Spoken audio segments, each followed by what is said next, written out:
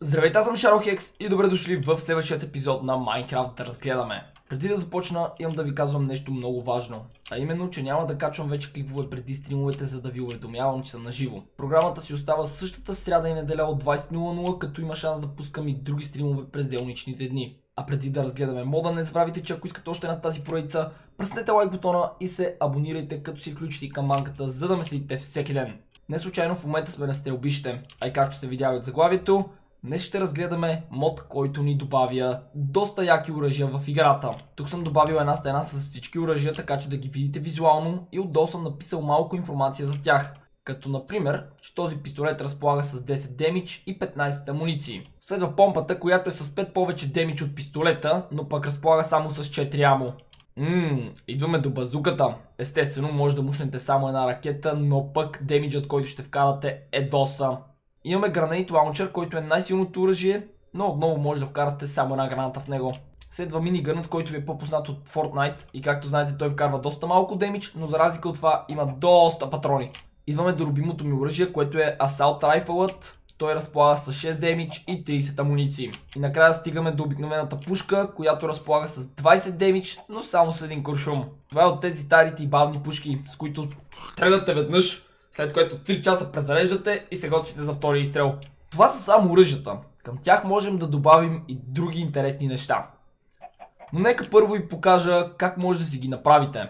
Идваме на този специален крафтинг тейбъл. Както виждате на него имаме менгеме, чук, отдолу няколко амуниции и две кутийки.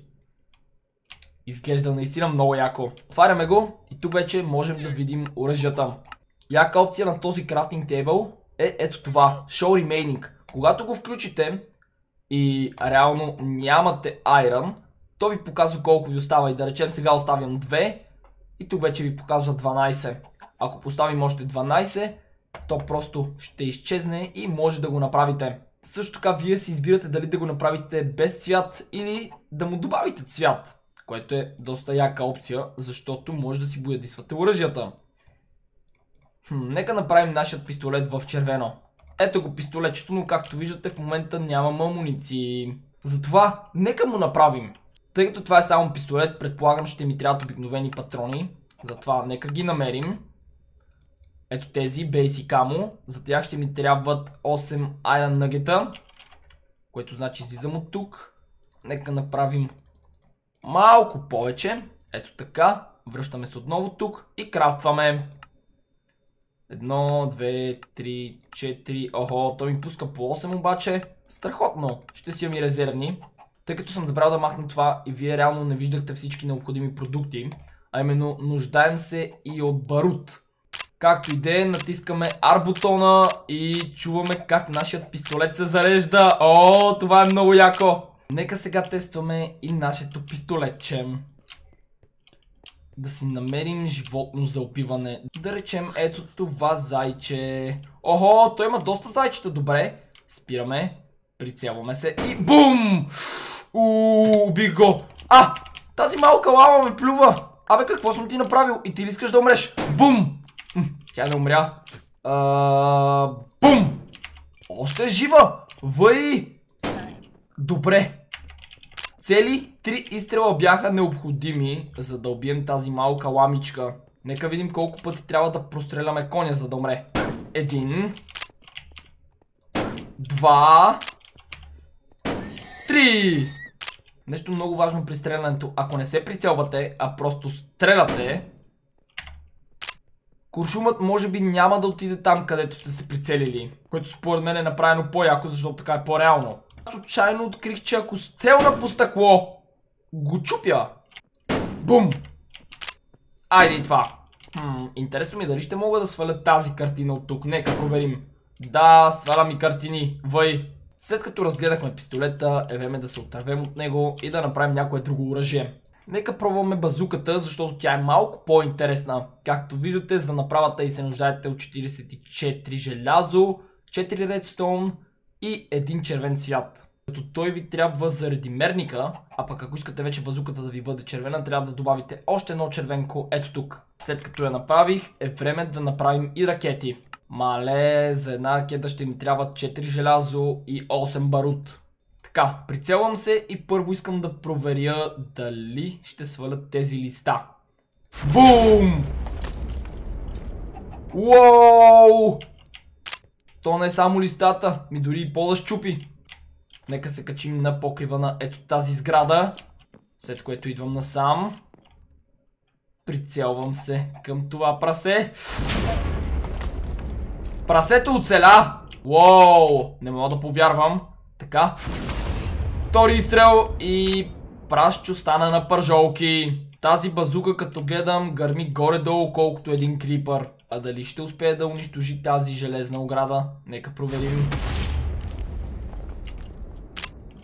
Уоу! Окей, това е яко. Ракетата реално мина през нея.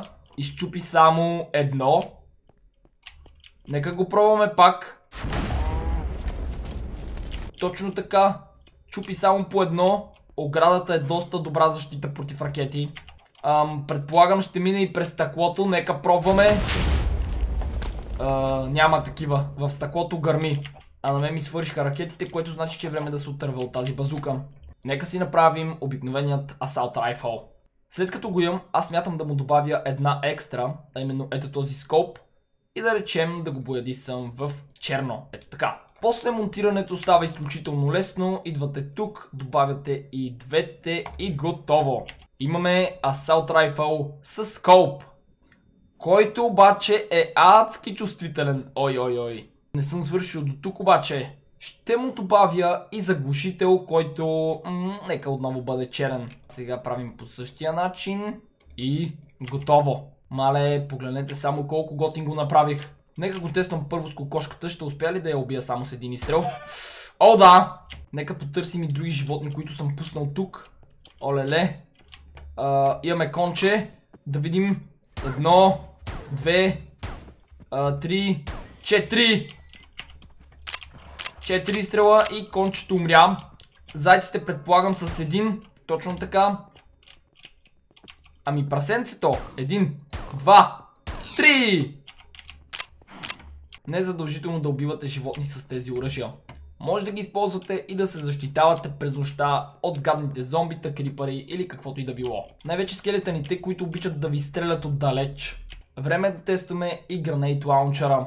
Тъй, нека сега го заредим и да отидем да го тестваме върху някое животно. Виждам крава на хоризонта. Така. Доближавам се. Прицелвам се. Стрелям. Уоу! Тя избегна ударът.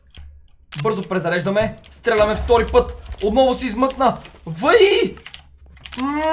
гадна крава! Умри! Най-накрая! Това е най-силното оръжие и не успях да убия кравата с един удар. Защо? Може би защото мръдна. Нека пробвам върху кончето. Стрелям от близко разстояние. Мале къде го вдигнах. Но и то не умря. Добре. Втори изстрел. Направо го погребах. Аз все още не вярвам, че оръжието е толкова слабо, затова си изпълнах ново конче и ще се опитам да го убия с един удар. Окей, това се брои. Въпреки, че умря при падането, можем да предположим на колко малко кръв е останал.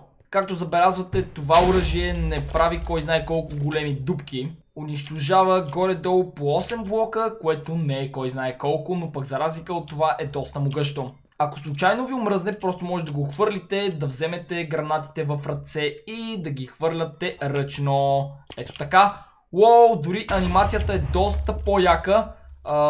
Да опитаме да вкараме тук. Ето така. Къде отиде? гръмна, но щупи само едно блокче. Явно тези са по-силни и затова не може да ги чупи. Ам, ако цъкнете само десен бутон, пускате гранатата на място и трябва веднага да бягате. А дали може да ми гръмне в ръката? Я да пробваме. Окей, не гърми. Значи трябва да я изхвърлим. Ето така. А, не успях да я кача там. Нека се пробвам. Оп! Отново не влезе. Ето сега вече трети път. Влезе! Бум! Не щупи кой знае колко. След като свърших с гранейт лаунчера и с обикновените гранати, е време да преминем към последното нещо, което ще ви покажа, а именно ето тази стън граната. Какво представлява тя? Със сигурност знаете, просто може би заради името не се досещате. Нека ви демонстрирам. Хвърлям я ето там. 3, 2, 1.